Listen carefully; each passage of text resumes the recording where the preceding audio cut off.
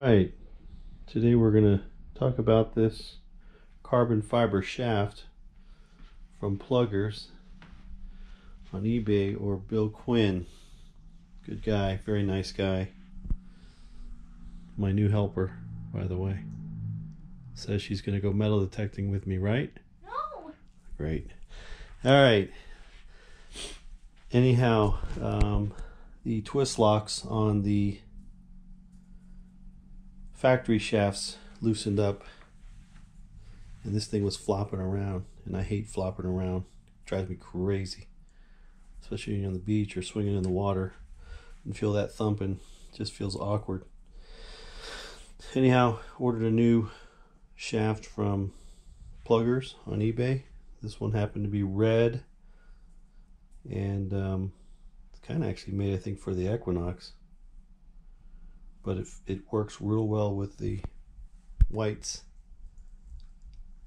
TDI Beach Hunter. Anyhow, we have these star locks, both sides, work quite well.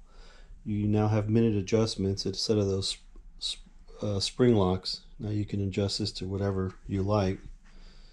Not only that, but it really folds up if you want to go underwater.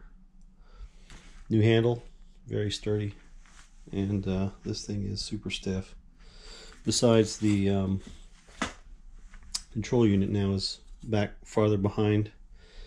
And um, you have several different mounting holes. You can get it way back there if you like. And uh, it really balanced this machine out. It's much different than factory or stock but uh, very well done I can tell you. Very well done so if you're in the market to change your um, TDI Beach Hunter shaft, I would say go with this one.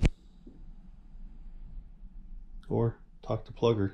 Email him on eBay or I don't know if he's on Amazon, but he'll respond right away.